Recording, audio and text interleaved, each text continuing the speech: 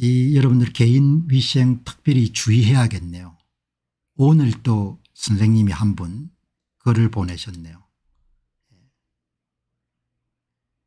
진로 중인 내과 의사입니다. 오늘도 다수의 코로나 환자들이 확진되고 있습니다.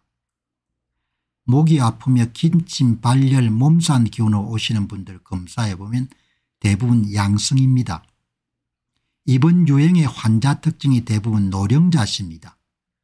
청소년이나 중년층의 환자가 거의 없는 것으로 보아 아마도 지난해 접종했던 백신의 명령 효과가 소진된 노년층의 감염자가 대부분입니다. 특효약으로 알려진 팍스로비드를 처방하지만 오늘 현재 정부가 공급했던 약품이 거의 품절이라서 환자분들이 지역 약국을 헤매고 있습니다. 오늘도 고령 기저질환으로 상태가 위험한 환자를 입원 치료 위하여 두 분을 전원했습니다마는 이분들이 어찌 될까 정말 걱정이 큽니다. 예. 그런 아마도 3차 진료기관의 격리병동이 없는 곳에서는 받을 수가 없으니까 환자 수가 더 급격히 누적되어 격리병동이나 중환자실에서 감당기 어려워 벌어질 일을 생각하면 암울합니다. 예. 어느 언론도 다루지 않는 거지 않습니까 예. 그 여러분 개인 위생 특별히 주의하시기 바랍니다. 이게 어제 오늘이 아니고 이게 이제 어제 여러분들 나간 방송 보고 남긴 거리거든요.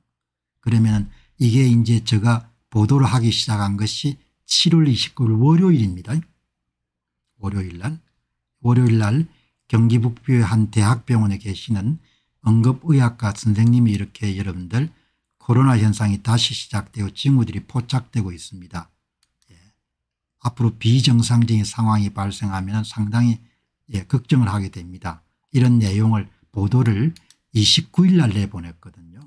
이 보도를 보시고 그다음에 8월 1일 날 또 몇 분이 글을 올렸지 않습니까 응급의학과 교수께서 예, 몇 달 동안 코로나가 없다가 최근 코로나가 많이 늘어났습니다.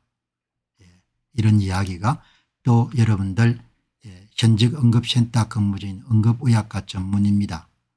예, 완전 붕괴 직전인 걸 피부로 느끼는데 이런 이야기가 나오지 않습니까 예, 그다음에 또 이제 다 전부가 다 다르신 분입니다.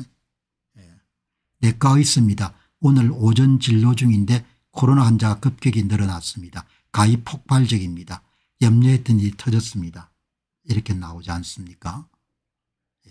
그 특별히 여러분 주의를 예. 또 여기 이제 한 분께서는 이분은 의사분이 아니신 것 같습니다. 외래에서 벌써 코로나 양성이 많은데 올 겨울 걱정입니다. 겨울까지 갈 필요가 없을 것 같습니다. 예.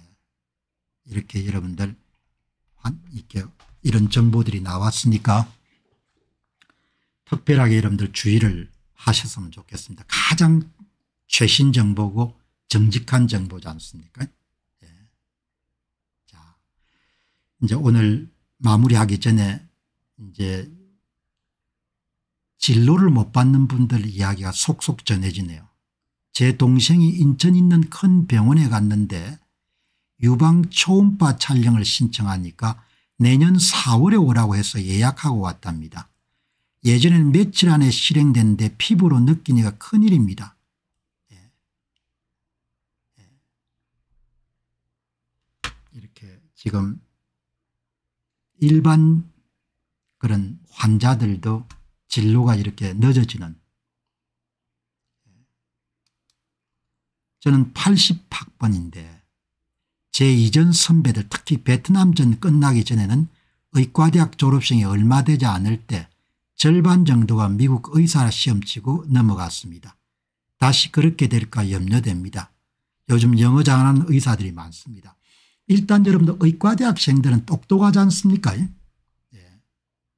이 입학 성적이 굉장히 우수하기 때문에 영어를 잘하신 분들이 굉장히 많을 거고 그 다음에 뜻을 세워가지고 노력하게 되면 다른 사람보다 훨씬 더 빠른 시간 내에 어느 장벽을 넘었을 가능성이 높죠. 예.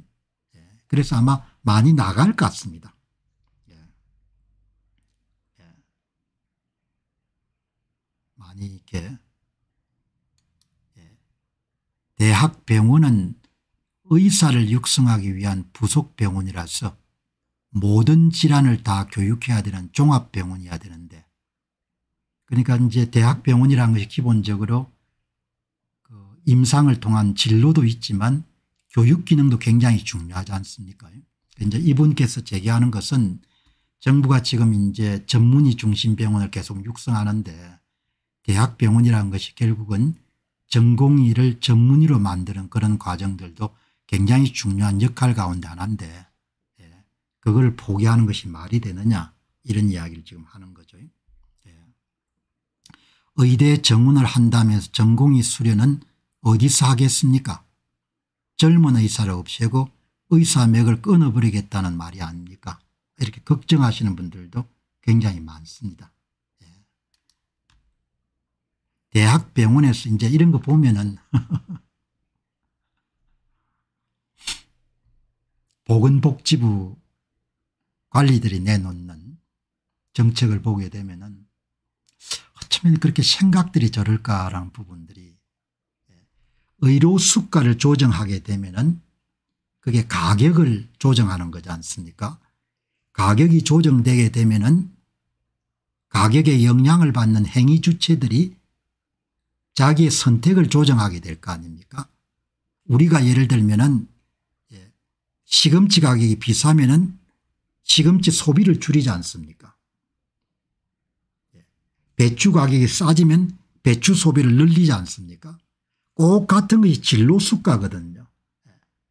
의료 수가를 여러분들 현실화시키게 되면 자동적으로 중증 질환자를 더 많이 보고 그게 조정이 될 건데 지금 관료들이 하는 걸 보면 뭔가 하니까 예, 수가는 좀 있다 하고 예, 일단 서울대 병원에 중증 질환자를 늘리기 위해서 병, 병상을 줄여라 이렇게 하는 겁니다.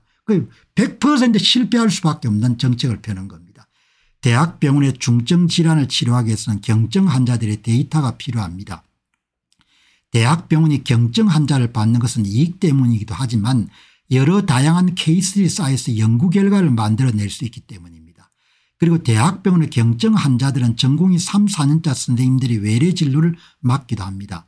결론적으로 경증 환자들 역시 대학병원은 운영에 필요하다는 것입니다. 이런 기본적인 사항도 고려하지 않고 정책을 들려대니까 의료체계가 망가지게 되는 겁니다. 제가 야, 어떻게 사람들이 저렇게 정책을 펼까라는 생각을 했는데 오늘 의료 분야를 의료인 같습니다. 의사 선생님 같은데 정확하게 이야기하지 않습니까 이렇게 구조를 바꾸려고 들면 되지 않는 거죠. 가격을 조정하게 되면 은 시간을 두고 구조가 조정되는데 관리들은 어떤 생각을 갖고 있는 거 하니까 빨리 구조가 여러분들 구조계획을 하는 것을 국민들에게나 보여야 되기 때문에 구조를 뜯어 고치는 겁니다. 그러니까 사회주의 발상하고 똑같은 겁니다. 가격을 모두가 이런 가격을 조정하게 되면 구조가 시간을 시간이 좀 걸리겠죠.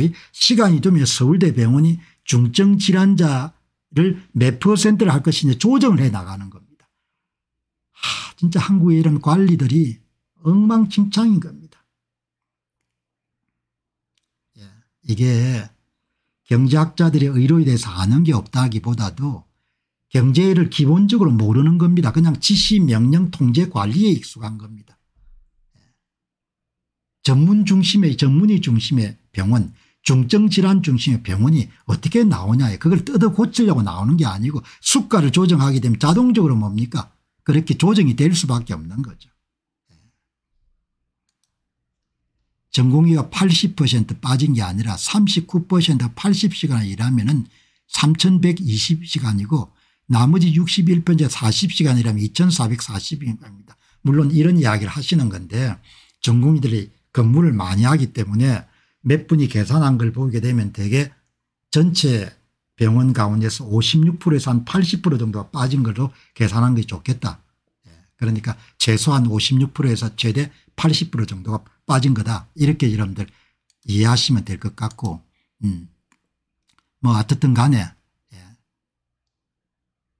지금 이렇게 여러분들 필수 의료과에 전문의 자격증을 가지신 분들이 적지 않은 수가 있는데 그분들이 수가 자체가 낮기 때문에 다른 분야에 종사하는 것이 문제가 된다.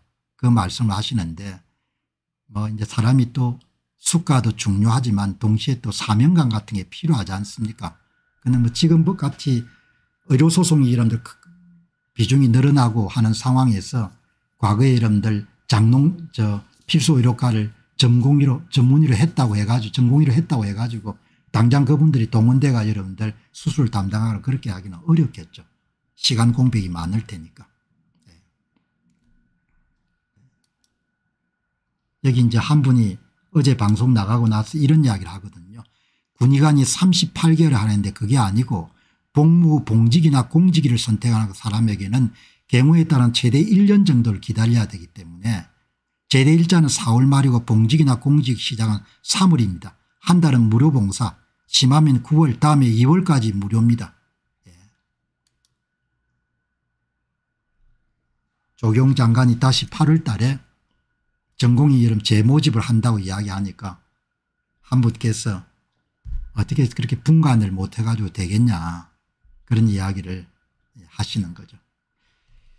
자 여러분 참 좀 합리적으로 생각하면은 음, 수가 조정하고 의료 분쟁 문제 그 두 가지 정도만 좀 5년 10년 정도 장기 플랜을 가지고 고쳐가게 되면은 필수 의료 인력에 배치가 되는 그런 인력 숫자를 상당 부분 복원할 수가 있을 것 같은데 정권은 2, 3년밖에 안 남았고 효과는 봐야 되고 하니까 계속해서 뭐 전문의 중심 중전질환 중심 그렇게 말이 안 되는 이야기를 하는 거죠. 어제도 말씀드렸다시피 서울대에서 병상 200병상을 줄이려면 은 병상 하나당 이런 8억이 들어갔으니까 1500억 정도가 손해를 봐야 된다는 거 아닙니까 고정비를 이미 1500원 늘렸는데 정부의 중증질환 정책에 맞추려면 1500원을 잃어야 된다는 거죠. 그럼 정부가 1500원을 보상해 달라 이렇게 하는 거잖아. 그럼 우리가 없을 때니까. 예. 그러니까 어디서부터 손을 써야 될지 모르겠는데 어떻든 참 이번 조치를 인해 가지고 뭐 수조 수십조 정도의 유형 손실이 있는 것 같고 그다음에 의대생하고 이런 전공의들이 필수 의료과에 대한 학을 떼게 된 그런 부분은 무형 자산으로 보게 되면 엄청난 손실이 발생한 거죠. 사태가 어떻게 해결될지 모르겠지만 책임자 규명하고 그다음에 정책 결정 과정에 대한 부분들은 엄격하게 여러분들 조사를 받아 가지고 낱낱이 국민들한테 여러분들 밝혀져야 될 것 같아요. 네. 자 여기 보시면은 앞에서도 말씀드렸다시피 한 분께서 그런 말씀을 하시네요. 보건복지부가 대처하는 방식이 너무 예, 참 어처구니가 없다 이렇게 말씀하셨는데 앞에서 이야기하신 그 내용대로 가격을 조정하게 되면 은 가격에 적응하는 것이 대부분 의료기관이나 의사들이니까 그런 방식으로 접근하게 되면 시간은 좀 더 걸리겠지만 사회적 비용을 크게 줄일 수 있는 방법이죠. 그런데 지금 예, 윤 정부의 보건복지부 관리들이 추진하는 방식은 가격이 행위자의 행동을 조정한다는 것이 아니고 그냥 관청이 중증질환 병원을 육성하기 위해 가지고 서울대 병원은 200병상을 줄이고 세브란스 병원은 100병상을 줄이고 이런 식으로 명령을 하니까 100% 시작부터 지금 실패할 수밖에 없고 그다음에 해당 병원들에게는 수천억 정도의 적자를 만드는 결과를 나온 거죠. 그러니까 한마디로 선무당 사람 잡는 짓을 계속하고 있는 겁니다. 처음에 꼬이니까 처음에 잘못된 정책을 시행해 가지고 그래서 대통령에 대한 책임론이라는 부분을 굳이 이야기하지 않더라도 이 문제는 결국은 이렇게 끌어가게 되면 은 장차관 책임론을 넘어가 대통령한테 여러분들 화가 갈 수밖에 없는 겁니다. 예. 그건 막, 막기가 어려울 것 같아요. 유일하게 여러분 이것을 해결할 수 있는 방법은 늦었지만 그래도 조속한 시간 내에 더 확전이 되지 않도록 7대 예. 요구안 수용하고 해가지고 여러분들 문제를 해결하는 방법인데 그거를 윤 대통령이 사시겠습니까 예. 아, 안 하시고 발생하는 것은 그거는 본인이 책임져야 되는 거죠. 그래서 앞에서 제가 예, 스페인 하시는 분들 가운데 일부가 뭐 보호하자 뭐 이런 이야기가 나왔기 때문에 그런 이야기 할 필요가 없다는 이야기죠. 본인이 책임져야 되는 거다. 본인이 책임져야 되는 거고 예, 우리는 그냥 예, 그 부분에 대해 시시비비를 따질 필요는 없다는 이야기죠. 보호를 해야 된다. 보호를 하지 말아야 된다. 그건 뭐할 이야기 없는 겁니다. 이 정도 되면 본인 운명 본인이 결정해야 되는 거니까. 자 여러분 저 오늘 어, 방송 예, 마무리하기 전에 광고 하나 드리도록 그렇게 하겠습니다. 어제도 소개드린 바와 같이 예, 미국의 남서부에 있는 역사적으로 이게 이게는 매우 덥고 습도가 굉장히 낮죠. 그래서 이제 은퇴하신 분들이 많이 찾는 곳이기도 한 것이 애리조나고 그다음 이제 애리조나의 주도가 피닉스인데 피닉스는 지금 이제 한참 예, 벤처라든지 이렇게 산업이 많이 몰려드는 그런 장소죠. 아마 TSMC 대만 반도체가 아마 애리조나에 공장을 짓고 있을 겁니다. 예. 과거에는 이제 금강, 은강 같은 그런 탄광들이 굉장히 융성해 가지고 예. 자기 운명을 개척하기 위한 사람들이 인생을 베팅했던 그런 장소던 거죠. 예. 책 좋아하시는 분들 한번 도전해 볼 만한 그런 책입니다.